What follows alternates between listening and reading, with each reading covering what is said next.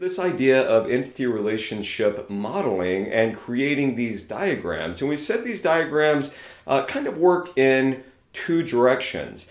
First, they are a mechanism for us to be able to capture business requirements from our business users and document them in a way that is both easy enough for them to understand and it's, it's easy to explain, but also that is specific enough and has enough technical nuance that it is going to be kind of usable to our more technical people to create these, uh, to, to create the actual database itself, create the tables, create the attributes, create the relationships, and things like that.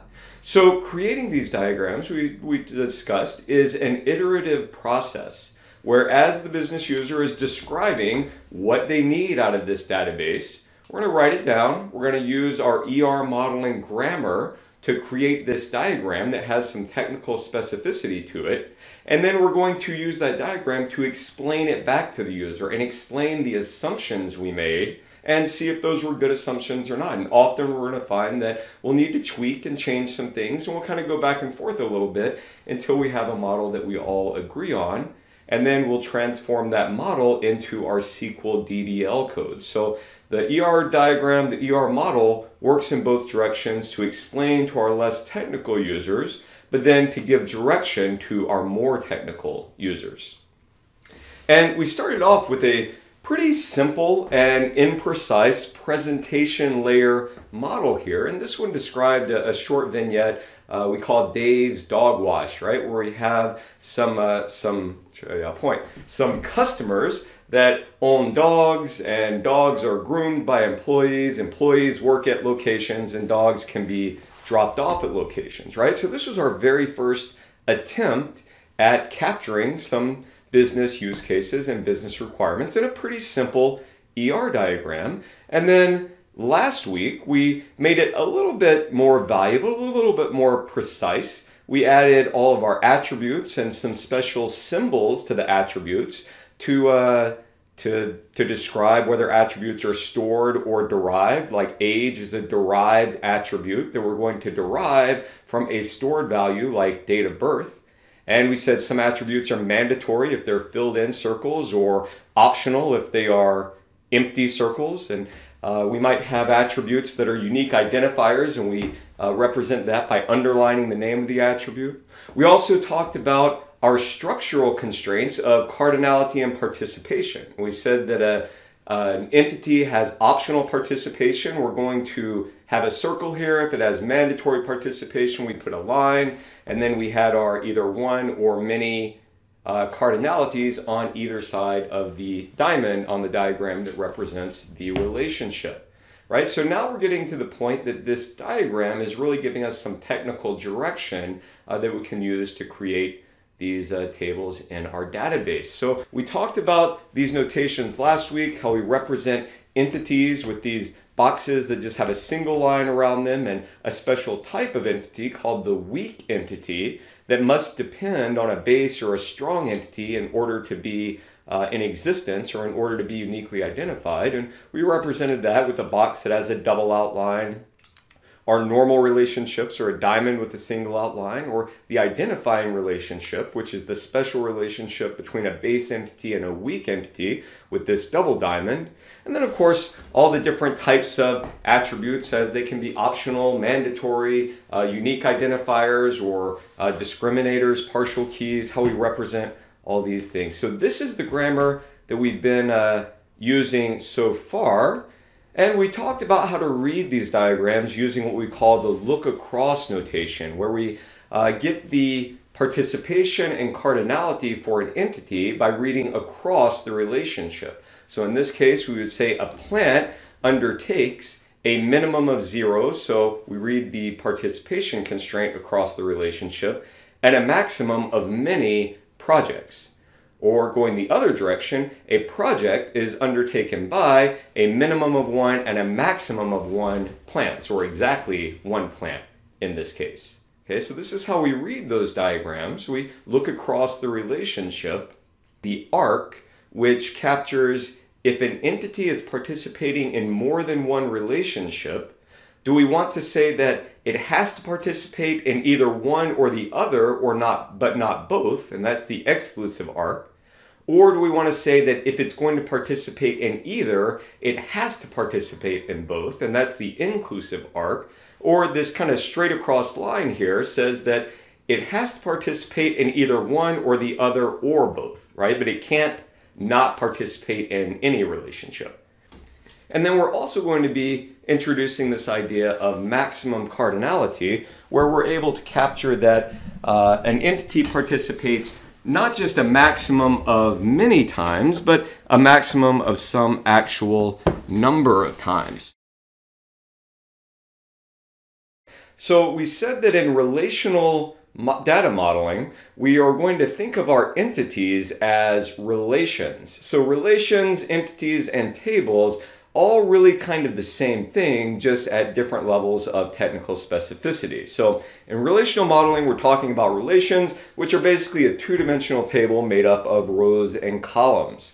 And the very first row or the very first tuple in our relation just has the name of the relation schema and the list of attributes, and we call this the heading. And then all of the other rows or all of the other tuples make up the body. And these are all the values for the attributes that are specified in the heading or in what we can call the relation schema.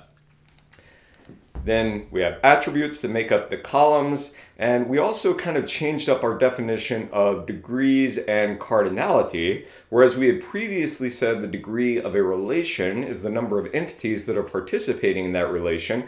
We now say that the degree of a relation is the number of attributes in that relation. Okay, so in this case, three, because we have three attributes, and the cardinality, where we previously said it's either one or many, now we can a little, a little more specifically say that the cardinality is the number of tuples in the relation, in this case, 5.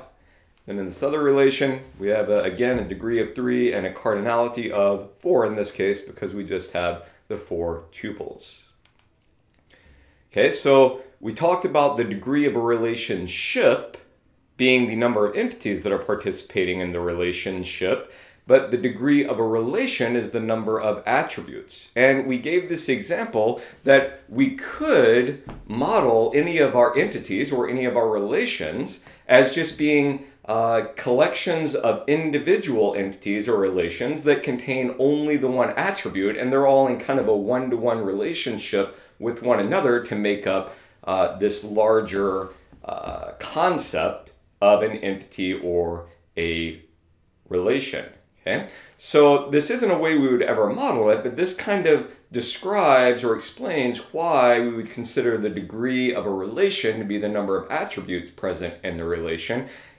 And then we further describe this by looking at the gerund.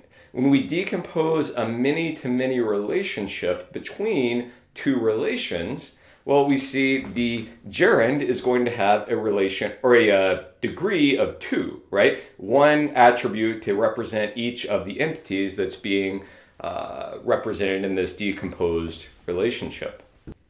We also talked about our, uh, our keys, super keys, candidate keys, key attributes, non-key attributes, our primary key and alternate keys and, uh, and the properties that are inherent in each one of these. So he said superkeys have the property of uniqueness. They can uniquely identify tuples. And further, we said any superset of a superkey is also a superkey, right? So if I can uniquely identify you by your PeopleSoft ID, then that's going to be a superkey because it's unique. But also PeopleSoft ID and your first name together is a super key. or PeopleSoft ID and your gender would be a super key, right? Even though gender is not a very good way to identify someone, right? Because many people share the same genders. But once we have some unique identifier, we can add anything to that and it's still going to be unique, right? So we're going to have a ton of super keys probably in our relation. But a candidate key gets to be a little bit more useful because it's a super key that is also irreducible. We can't take away any attributes from a candidate key and it still maintain the property of uniqueness. Okay, so we're going to have a much smaller number typically of candidate keys in a relation, and the candidate keys are what we typically are going to use to uniquely identify tuples in our relation. Okay, and then we're going to select just one candidate key to be our primary key. And to designate a candidate key as our primary key, we add the additional constraint that it cannot have any null values. And we call this the entity integrity constraint.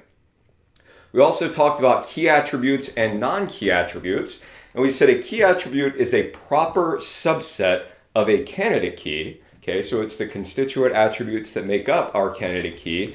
And a non-key attribute is any attribute that is not a subset of a candidate key. And as I just mentioned, primary key is the candidate key that in addition has the entity integrity constraint, meaning it cannot be null.